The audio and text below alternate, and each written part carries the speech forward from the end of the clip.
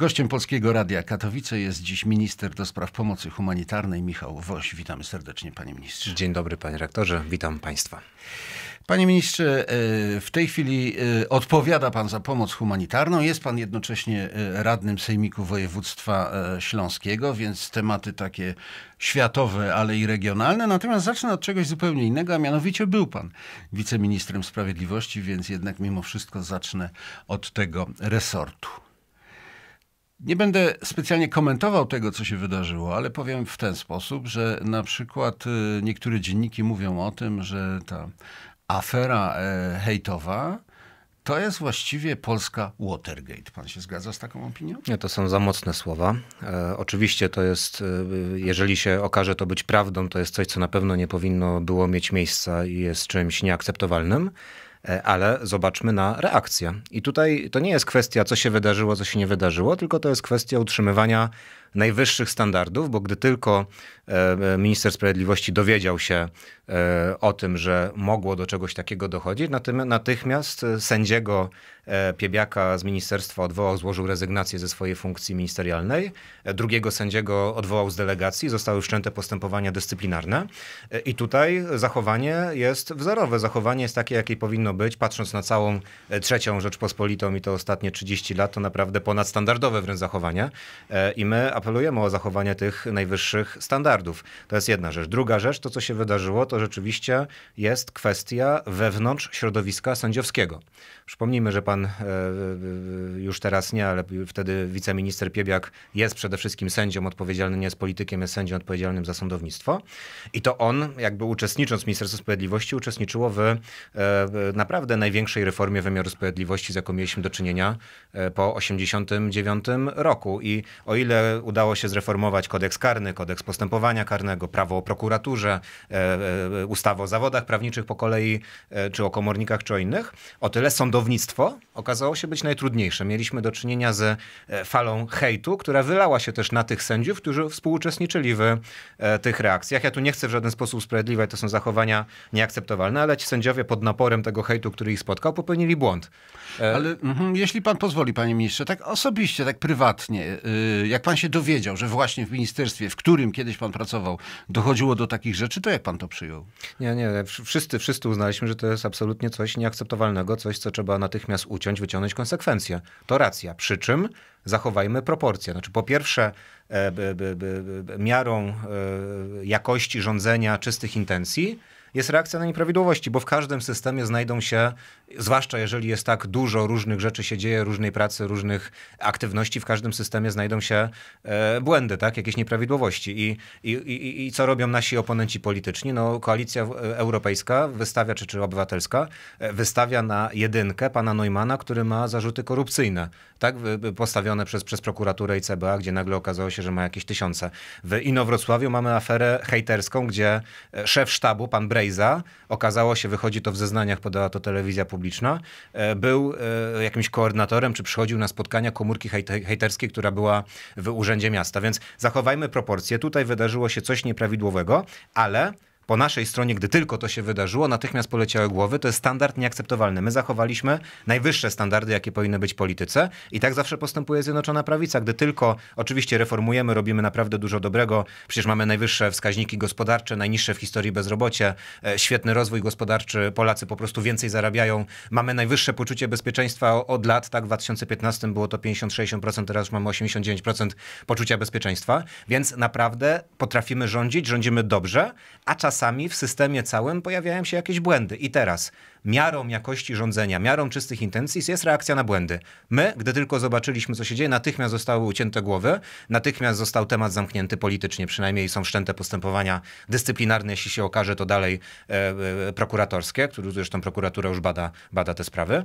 E, a z drugiej strony co? Z drugiej strony mamy stawianie na piedestale pana Neumana, bo ma jedynkę, tak, na listach wyborczych e, z Platformy e, i, i szef, szef, szef sztabu jest, jest, jest e, e, też zamieszane w jakieś dziwne e, sytuacje z Inowrocławia. Co więcej, na, na swoich listach wyborczych e, Koalicja Europejska ma jawną hejterkę, taką panią Jahirę. Można zobaczyć, co ona tam e, w tym internecie e, wyrabia na Twitterze, jakie filmiki wrzuca, jak wbija szpilki do kaczki, udawając, że jakieś psalmy tak z, z obrzydliwymi słowami. I to są, to są prawdziwe problemy hejterskie. Zachowajmy proporcje. To, co się wydarzyło, niektóre media e, lewicowe chciałyby okrzyknąć, nie wiem, największą aferą, jaką mieliśmy do czynienia od lat. Nie, to jest coś, co się wydarzyło. Ja nie chcę tego relatywizować, bo to jest zupełnie standard nieakceptowalny, ale zobaczmy, jaka dobra reakcja po naszej stronie. A po drugiej stronie przecież mamy no, 250 miliardów z VAT-u, y, które wypłynęły tak, z, z budżetu i nikt nad tym nie panuje. Teraz komisja, e, komisja VAT-owska przedstawi, w tym tygodniu y, przedstawia raport. Więc zachowajmy Mhm. proporcje, zobaczmy, co się wydarzyło z jednej z drugiej strony. Coś tutaj rzeczywiście to nie miało, nie powinno mieć miejsca, ale to, co się wydarzyło, to ma się nijak do tych wielkich afer, które, które, które obciążają naszych oponentów politycznych. Panie ministrze, przejdźmy do kwestii związanych z pomocą humanitarną. Niedawno, kilkanaście dni temu, przypadał e, Światowy Dzień Pomocy e, Humanitarnej i tam e, pojawiło się, pojawiła się taka propozycja, że ministerstwo zaangażuje się w pomoc dla Zambii. Ale powiedzmy tak, Zambia to jest jakby jeden kierunek naszego działania. Oprócz tego Syria, Irak, Donbas, tak? Czy, czy to są te najgłówniejsze, najważniejsze? Znaczy, by, by, by kierunki działania, kierunki pomocy realizowanej przez Polskę, bo Polska pomaga na miejscu. Taką filozofię działania przyjęliśmy, żeby pomagać na miejscu, a nie tutaj u nas. Nie przyjmujemy e, co do zasady uchodźców, tylko staramy się pomóc tym, którzy są najbardziej potrzebujący, ci, którzy nie mają dachu nad głową, jedzenia, żywności, dzieci, które mają pourywane ręce. Przecież to są takie historie e, w różnych konfliktach zbrojnych. E, I my tą pomoc na miejscu, oczywiście ona ma dwa takie aspekty. Z jednej strony czysto ludzki, tak? Znaczy my to widzimy, e, to jest nasz odruch każdego człowieka, żeby pomóc potrzebującemu, pomóc temu, który, e, który właśnie no, no, no, no nie ma niczego, czy, czy, czy umiera e, w wyniku konfliktów zbrojnych, czy, czy jego życie jest zagrożone.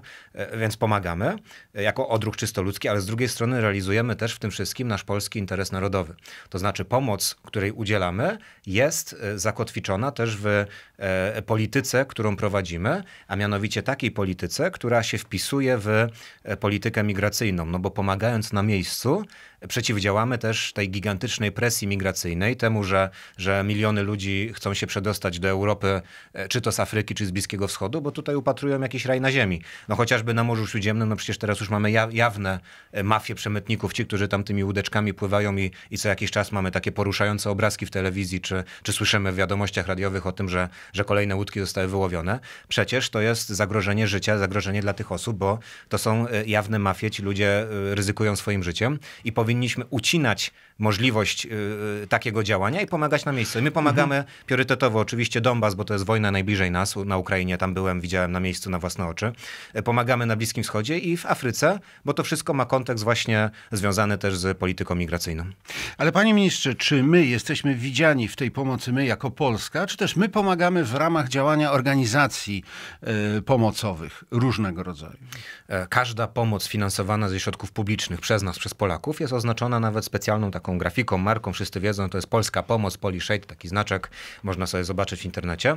E, I rzeczywiście każdy wie, że to Polska pomaga e, i, i są tego mnóstwo, mnóstwo przykładów. Biskup Aleppo, arcybiskup, e, patriarcha Aleppo sam mówi, że, że dziękuję, dziękuję Polakom, widać tą polską pomoc, ona jest na miejscu, Polska jest tam obecna i, i, i naprawdę to widać, za to dziękuję. W Iraku też pomagamy i oczywiście posiłkujemy się czy kościołami, czy posiłkujemy się organizacjami pozarządowymi, bo one często już tam na miejscu są, działają polskimi organizacjami pozarządowymi, jak chociażby Polska Pomoc Medyczna, Orla Straż, Caritas, Pomoc Kościołowi w Potrzebie, szereg świetnych, sprawnych, dobrych organizacji, ale przy tych organizacjach oczywiście każda pomoc, jeżeli pochodzi z naszych wspólnych środków, jest oznaczona jako polska pomoc. To jest też budowa dobrej, pozytywnej marki na świecie.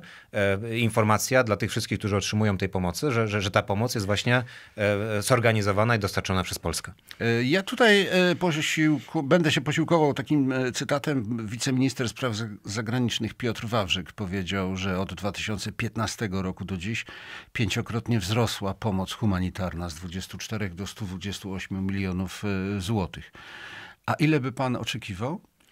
Ile powinna by była wynosić? Zawsze, zawsze y, jakkolwiek, jakakolwiek by to nie była wysokość i tak będzie za niska, ale my kierujemy się zasadą porządku miłości, ordo caritatis, czyli najpierw swoja rodzina, swoje społeczeństwo, swój dom, swoje państwo. Gdy u nas są zapewnione te potrzeby, wówczas możemy pomagać w miarę naszych potrzeb. I to nie jest tak, że Polska udźwignie wszystkie nieszczęścia świata, które są na świecie, tak? Znaczy to jest odpowiedzialna cała społeczność międzynarodowa. My znamy nasze miejsce na arenie międzynarodowej, ale chcę podkreślić, że na całą współpracę rozwojową w zeszłym roku przeznaczyliśmy blisko 3 miliardy, 2 miliardy 880 milionów dokładnie. To jest pomoc i rozwojowa, i, tym, i humanitarna. I w tym oczywiście jest i, i, składki na organizacje pozarządowe, na składki na organizacje też międzynarodowe, chociażby na ONZ, z czego z naszych pieniędzy też jest udzielana dalsza pomoc. Ale my stawiamy jako Polska rzeczywiście na tą pomoc, która jest najbardziej efektywna, czyli ta, która jest udzielana bezpośrednio. Lepiej, kiedy my przekazujemy te środki jakiejś organizacji pozarządowej, czy na miejsce jakiemuś kościołowi, potem to kontrolujemy i ten, ten, ta ilość pośredników jest mniejsza i wtedy mamy na to bezpośredni wpływ, zmniejszamy koszty biurokracji e, i ta pomoc rzeczywiście z roku na rok e, rośnie i to jest bardzo e, ważne, że, że w miarę naszych możliwości pomagamy, bo to jest po prostu też nie tylko odruch serca, takie nasz, nasze ludzkie podejście jak, jako człowieka, ale też to jest w polskim interesie narodowym.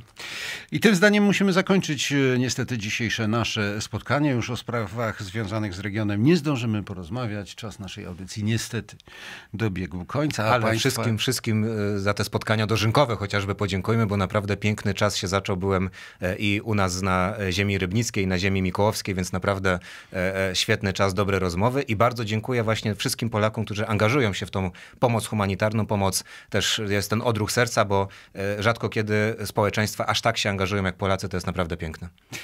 Dziękuję bardzo za te słowa. A dziś Państwa i moim gościem był minister do spraw pomocy humanitarnej Michał Woś. Dziękuję bardzo. Bardzo dziękuję, miłego dnia.